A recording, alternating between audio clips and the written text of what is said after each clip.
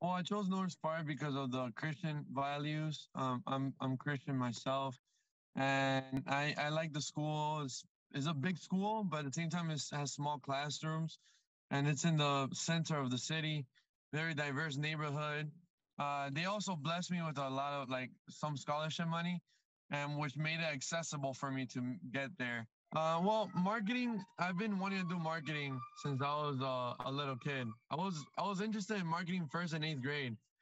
Um, I I was always aspiring to how can I find a way that I can get to people and and help people uh, find the services and products that they want. I, I'm actually applying for the Chicago Police Department. Um, I I've been in that process now for the past year.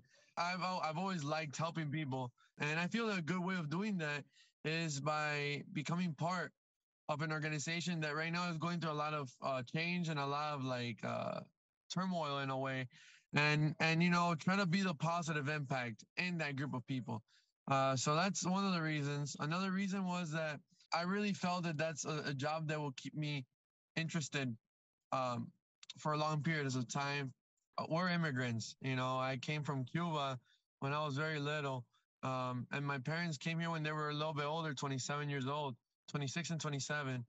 It's difficult to for them to help me because we're four. We're a family of four. Family was very united always. I, I've had positive models in my life. My my father always and my mother, both of them, they always, you know, pushed us to to do better and to um, overcome challenges that they faced when they were younger. They they wanted us to be better than them, you know. So uh, it's been a big blessing to me having the family I had. Uh, so I'm taking care of my own of my own education.